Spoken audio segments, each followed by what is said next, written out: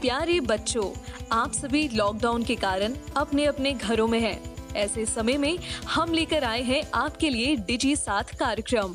इसके माध्यम से आप प्रत्येक दिन सोमवार से शुक्रवार तक पूर्वाहन 10 से 12 तथा अपराहन 1 से 2 बजे तक अपने अपने कक्षाओं के अनुरूप कार्यक्रम देख सकेंगे। स्कूली शिक्षा एवं साक्षरता विभाग झारखंड। नमस्ते दोस्तों, आप सबका झारखंड सरकार के डिजी साथ प्रोग्राम में स्वागत है। आइए देखते हैं कि आज हम क्या पढ़ेंगे। हम एपिसोड की शुरुआत कक्षा नौ के इंग्लिश के chapter the fun they had के साथ करेंगे और ठीक इसके बाद कक्षा 11 में हम इंग्लिश के ही चैप्टर द एड्रेस को पढ़ेंगे। तो आइए शुरू करते हैं हम अपना प्रोग्राम। डीजी साथ अब पढ़ाई नहीं रुकेगी।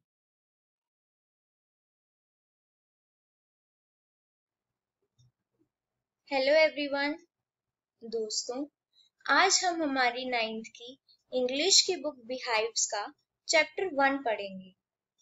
इस चैप्टर का नाम है द फन दे है और ये वीडियो इस चैप्टर का पार्ट थर्ड है। तो दोस्तों, क्या आप सभी को याद है कि पिछली वीडियो में हमने क्या पढ़ा था?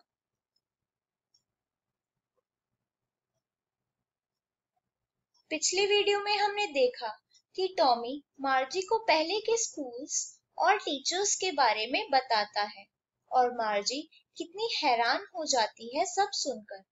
उसको ऐसा लगता है कि कोई इंसान इतना समझदार कैसे हो सकता है। आज की वीडियो में हम देखेंगे कि पुराने स्कूल्स के बारे में जानकर मार्जी को कैसा लगेगा और वो क्या इमेजिन करेगी क्या कल्पना करेगी तब के बच्चों के बारे में?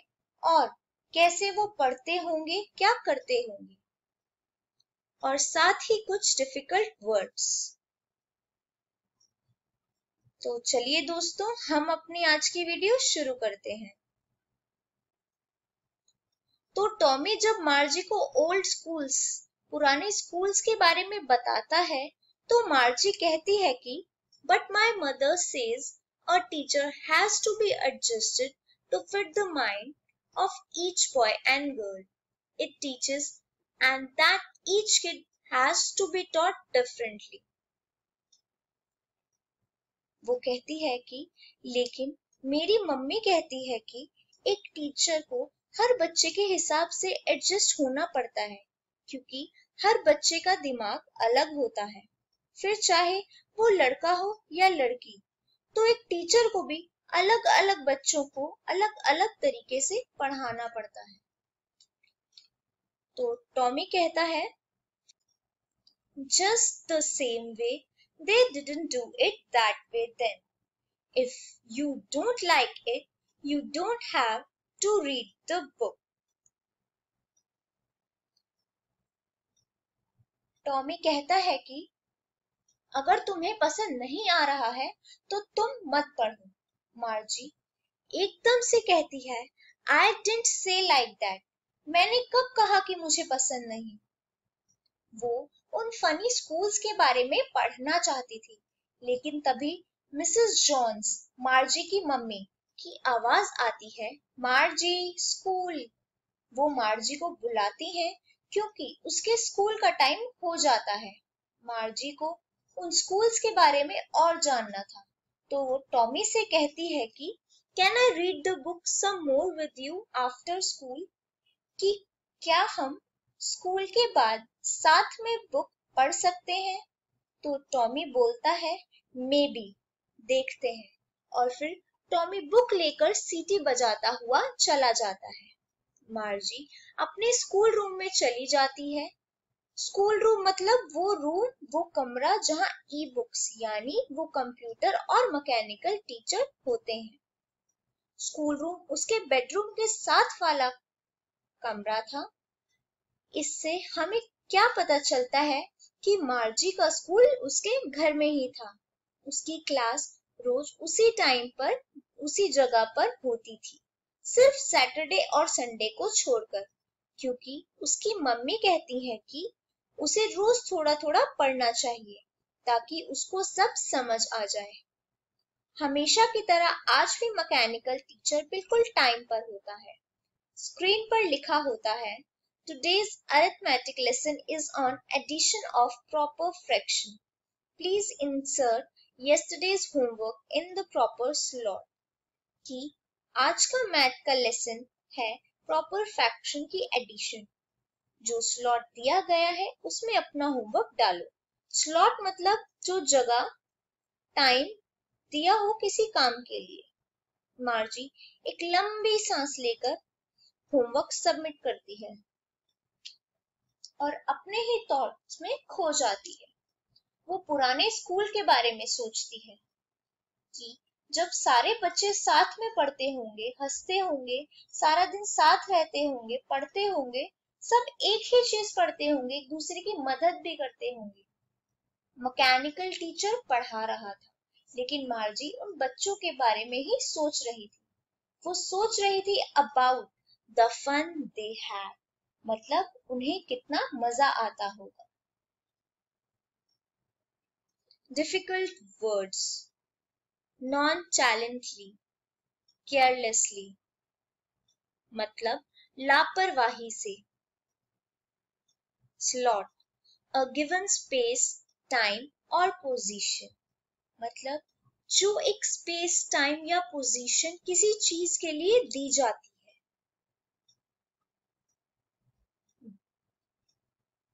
तो दोस्तों, आज की वीडियो में हमने देखा कि मार्जी को पुराने स्कूल्स के बारे में सुनकर कितना अच्छा लगता है।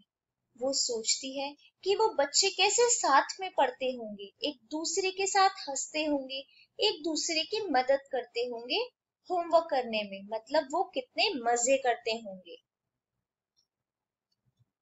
तो दोस्तों, आप भी अपने घर जाकर, अपनी बुक बिहाइव्स के इस chapter the fun they had को ज़रूर पढ़ें, ताकि आपको सब अच्छे से समझ आ जाए। अगली वीडियो में हम इस चैप्टर के प्रैक्टिस क्वेश्चंस को डिस्कस करेंगे और साथ ही उनके आंसर्स को कैसे लिखना है ये देखेंगे। थैंक यू हेलो एवरीवन दोस्तों, आज हम हमारी इंग्लिश की नाइन्थ की बुक बिहाइव्स का चैप्टर फ़र्स्ट के प्रैक्टिस क्वेश्चंस को डिस्कस करेंगे। इसमें हम सबसे पहले क्वेश्चन डिस्कस करेंगे और उसके बाद उस क्वेश्चन के आंसर को कैसे लिखना है, ये देखेंगे।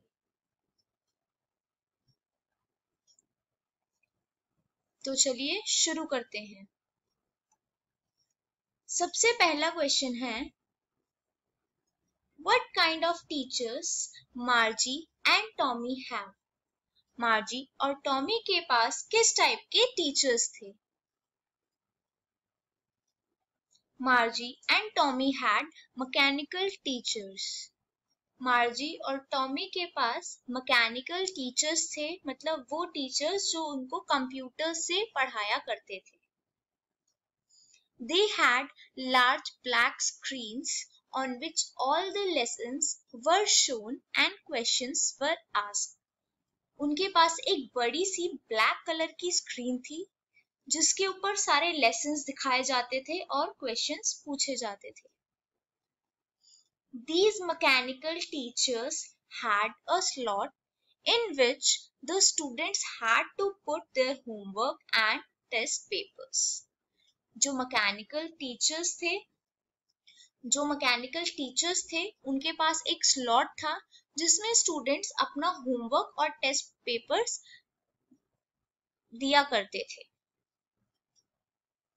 सेकेंड क्वेश्चन है why did Margie's mother sent for the county inspector Margie की मम्मी ने काउंटी इंस्पेक्टर को क्यों बुलाया था? उनको क्यों ज़रूरत पड़ी थी काउंटी इंस्पेक्टर की? Margie had been given many test in geography by the mechanical teachers mechanical teachers ने मार्जी को ज्योग्राफी में बहुत सारे टेस्ट दिए थे। She had been performing worse and worse in them. वो उन टेस्ट में दिन प्रतिदिन और भी ज़्यादा खराब परफॉर्म कर रही थी। It is for the reason that she sent for the county inspector. और यही रीजन था कि मार्जी की मम्मा ने काउंटी इंस्पेक्टर को बुलाया था। थर्ड क्वेश्चन है what did county inspector do county inspector ने क्या किया the county inspector gave Margie an apple and started working on the mechanical teacher. Margie inspector ने काउंटी इंस्पेक्टर ने मार्जी को एक एप्पल दिया और मैकेनिकल टीचर पर काम करना शुरू कर दिया Margie had hope that the inspector would not know how to put the mechanical teacher Margie ये उम्मीद कर रही थी, ऐसा चाह रही थी कि जो काउंटी इंस्पेक्टर है, उसको ना पता हो कि मैकेनिकल टीचर को कैसे ठीक करना है He slowed up the geography sector of the teacher because it had become too quick.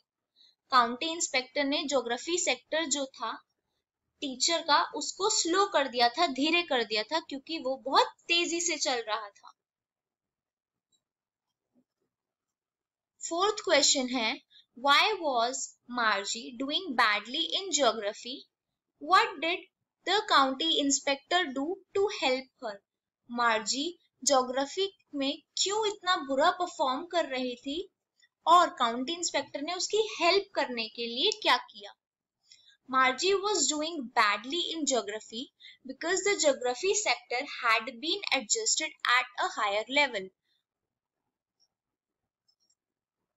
Margie geography में इसलिए बुरा परफॉर्म कर रही थी क्योंकि जो ज्योग्राफी सेक्टर था वो हायर लेवल पर ऊंचे लेवल पर एडजस्ट हो गया था The county inspector rightly told her that she could not be blamed for the poor performance.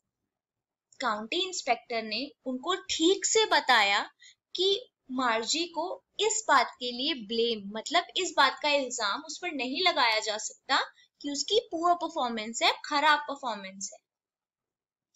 The county inspector slowed down the geography sector of the mechanical teacher to an average 10 year old level जो county inspector थे, उन्होंने geography sector को slow कर दिया mechanical teacher के, और slow करके किस पे कर दिया टेन ईयर ओल्ड लेवल पर दस साल का जो बच्चा होता है, उसके लेवल पर He also told Mrs. Jones that Margie's progress pattern is satisfactory. उन्होंने मिसेस जॉन्स को मार्जी की मम्मा को ये भी बताया कि मार्जी की प्रोग्रेस पैटर्न जो है मार्जी जिस तरीके से इम्प्रूव कर रही है वो सेटिस्फैक्ट्री है। मत, मतलब वो संतुष्टिजनक है। Did Margie have regular school days and hours for school if so why क्या मार्जी रेगुलर डेज़ मतलब लगातार हर दिन और पूरे प्रॉपर घंटों में स्कूल जाती थी? और अगर जाती थी तो क्यों? Yes Margie had regular days and hours for school हाँ मार्जी रेगुलर स्कूल जाती थी और जितने दिन जाना चाहिए और जितने घंटे जाना चाहिए, वो उतने टाइम स्कूल जाती थी। The mechanical teacher always turned on at the same time every day, except Saturdays and Sunday. Mechanical teacher हमेशा सेम टाइम पर ऑन होता था संडे और सैटरडेज को छोड़कर। Margie had regular days and hours for school because her mother said that little girls learn better when they learn at regular hours. Margie regularly school इसलिए जाती थी क्योंकि उसकी मम्मा ऐसा कहती थी कि जो छोटे बच्चे होते हैं वो ढंग से सीखते हैं ज़्यादा ढंग से सीखते हैं जब वो रेगुलरली पढ़ते हैं तो दोस्तों आज की वीडियो में हमने देखा, इस चैप्टर के प्रैक्टिस क्वेश्चंस को उन्हें डिस्कस किया और देखा कि कैसे हम उन आ... कि कैसे हम उन क्वेश्चंस के आंसर्स को लिख सकते हैं। आप भी अपने घर जाकर अपनी इंग्लिश की बुक बिहाइव्स के इस chapter the fun they had के प्रैक्टिस क्वेश्चंस को ज़रूर पढ़ना ताकि आपको सब अच्छे से समझ आ जाए। अगली वीडियो में हम अगला चैप्टर करेंगे, जिसका नाम है the road not taken thank you hello everyone welcome to English smart class दोस्तों, आज हम लोग हमारी इलेवेंथ की बुक स्नैपशॉट का चैप्टर टू पढ़ेंगे। इस चैप्टर का नाम है द एड्रेस और दोस्तों, जैसे कि आपको याद होगा, हम लोगों ने इस चैप्टर का पार्ट वन और पार्ट टू ऑलरेडी पढ़ लिया है, जिसमें हमने बात करी थी कि किस तरह से नरेटर मिसेस डॉर्लिंग के घर जाती है उनसे मिलने। लेकिन मिसेस डॉर्लिंग उसे पहचानने से साफ़ साफ़ मना कर देती है। जब नरेटर बताती है मिसेस डॉर्लिंग को कि वो मिसेस एस की डॉटर है तब भी मिसेस डॉर्लिंग को कुछ भी याद नहीं आता। इसके बाद नरेटर हमें कुछ अपने पास के बारे में भी बताती है कि किस तरह से उसकी मदर ने उसे सबसे पहली बार मिसेस डॉर्लिंग के बारे में बताया था। किस तरह से उसने अपने घर में चीज़ों को मिसिंग पाया। और जब उसने ये बात अपनी मदर से कही तो उसकी मदर ने कहा कि ये सारी चीज़ें तो मिसेस डॉर्लिंग अपने साथ अपने घर ले गई है।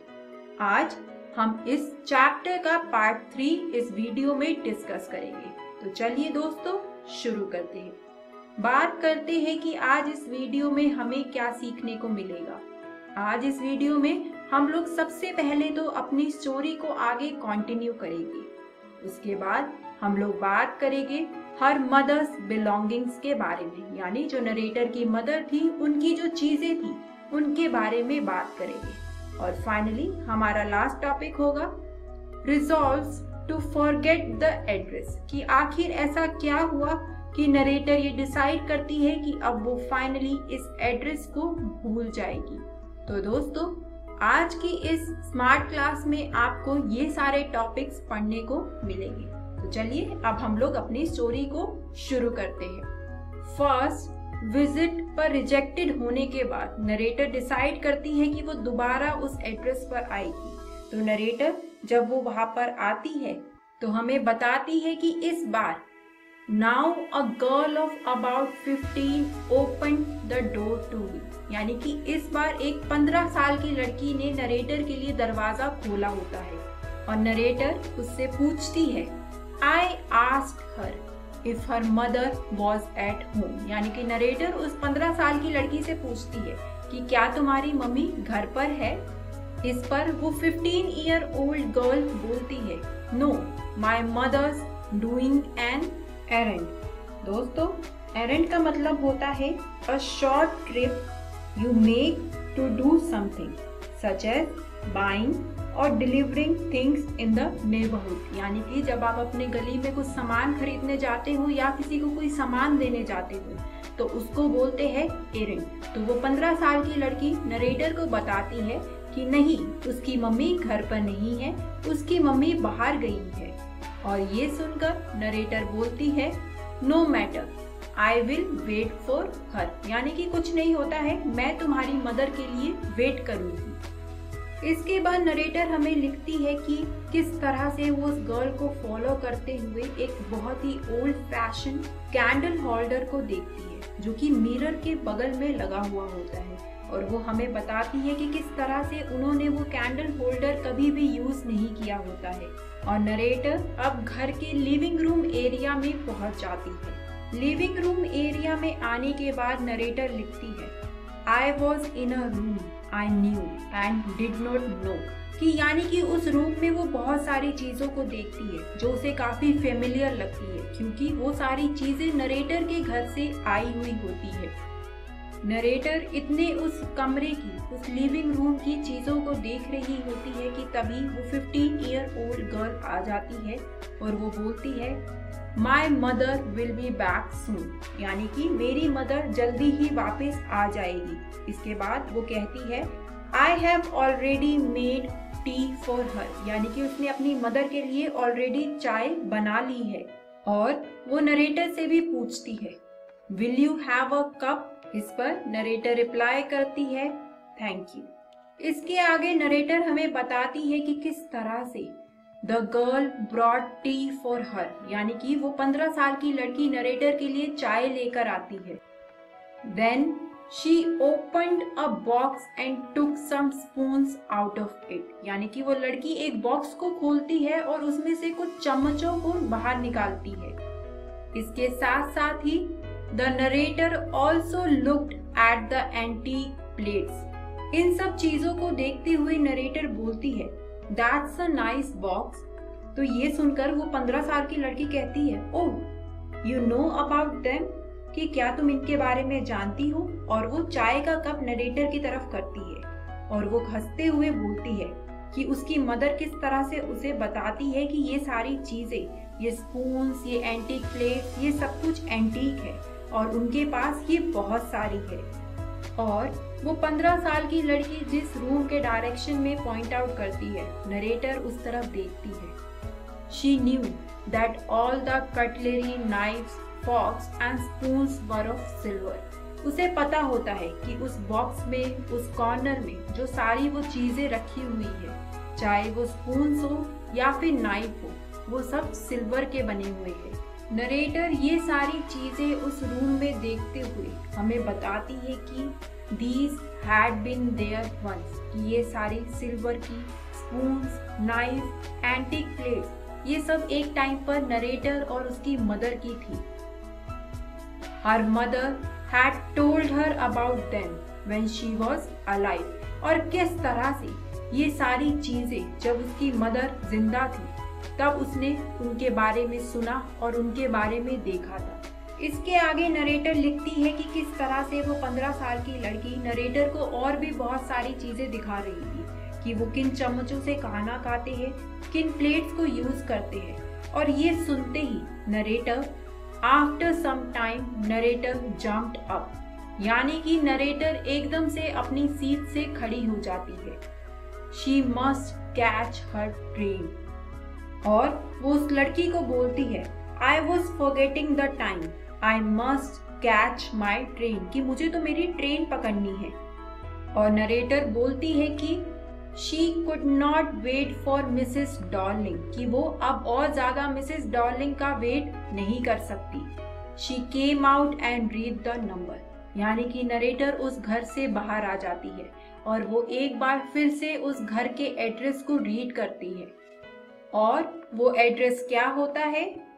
इट वॉज़ 46 मार्कोनी स्ट्रीट और नरेटर एक बार फिर से अपने आप को एश्योर करती है द एड्रेस वॉज़ करेक्ट यानी कि वो गलत घर में नहीं गई है। वो एड्रेस बिल्कुल सही है, जो उसकी मदर ने उसे बहुत साल पहले दिया था। बट अब इतना सब कुछ विटनेस करने के बाद now she wanted to forget the address यानी कि अब नरेटर उस एड्रेस को भूल जाना चाहती है। She resolve not to go there यानी कि अब वो वहाँ पर दोबारा नहीं जाना चाहती। Those nice things were once the belongings of her mother यानी कि जो जो चीज़ें उसने आज उस घर में देखी, वो एक टाइम पर उसकी मदर की हुआ करती थी वो सारी अच्छी चीज़ें उसकी मदर की है। उसकी मदर को बिलोंग करती है। And they reminded her of her former times और वो सारी चीज़ें नरेटर को अपने पास की याद दिलाती है। But now they had lost their value लेकिन अब उन सब चीज़ों ने, उन सब अच्छी चीज़ों ने अपनी वैल्यू खो दी है। और क्यों उन सारी नाइस थिंग्स ने अपनी वैल्यू खो दी है? Because their true owner no longer exist यानी कि अब नरेटर की मदर इस दुनिया में नहीं है। और अब वो सारी अच्छी चीज़ें नरेटर की मदर की नहीं है, बल्कि मिसिस डॉर्लिंग की हो चुकी है। और इसी वजह से नरेटर ये डिसाइड करती है कि वो उस एड्रेस को हमेशा के लिए भूल जाएगी। और नरेटर फाइनली कहानी को खत्म करती है, ये बोलते हुए I resolve to forget the address of all the things I had to forget that would be the easiest यानी कि नरेटर इस एड्रेस को अब हमेशा के लिए भूल जाना चाहती है। और इसी के साथ दोस्तों, ये स्टोरी अब हमारी यहीं पर खत्म होती है। बात करते हैं कि आज इस वीडियो में हम लोगों ने क्या सीखा। आज इस वीडियो में हम लोगों ने हमारी आगे की स्टोरी को कंटिन्यू किया और जाना कि सेकंड विज़िट पर जब दूसरी बार नरेटर उस घर में जाती है तो वो मिसेस डॉर्लिंग से नहीं मिलती, बल्कि उनकी पंद्रह साल की बेटी से मिलती है। और किस तरह से उस घर के हर कोने में उसकी मदर की चीज़ें रखी हुई है। इसके बाद हम लोगों ने बात करी हर मदर्स बिलोंगिंग के बारे में कि किस तरह से वो लोग उसकी मदर की प्लेट्स उसकी मदर के सिल्वर स्पून को आज भी यूज़ कर रहे हैं। और ये सारी चीज़ें उसकी मदर की हुआ करती थी एक टाइम पर। और फाइनली हम लोगों ने एट द एंड पढ़ा कि किस तरह से नरेटर फाइनली ये डिसाइड करती है कि वो इस एड्रेस को हमेशा के लिए भूल जाएगी। दोस्तों, ये चैप्टर था हमारी बुक स्नैपशॉट से।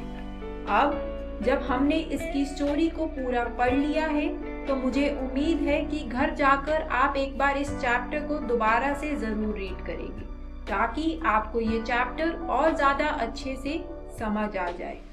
इससे अगले वीडियो में हम लोग बात करेंगे इस चैप्टर के प्रैक्टिस क्वेश्चंस के बारे में, जिसमें हम लोग जानेंगे कि पेपर में किस तरह से इस चैप्टर में से क्वेश्चंस आ सकते हैं।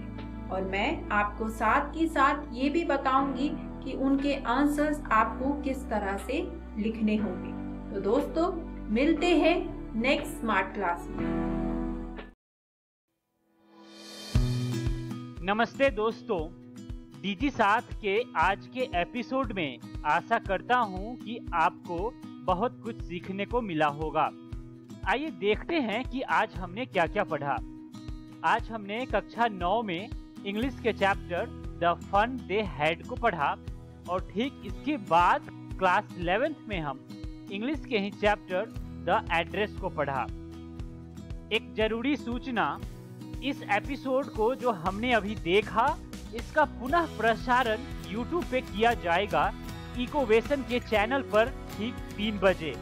तो यदि आप अपने दोस्तों के साथ भी ये एपिसोड शेयर करना चाहते हैं या पुनः देखना चाहते हैं तो YouTube पर डीजी साथ इकोवेशन सर्च करें और आप इस वीडियो तक पहुँच जाएँगे। धन्यवाद दोस्तों।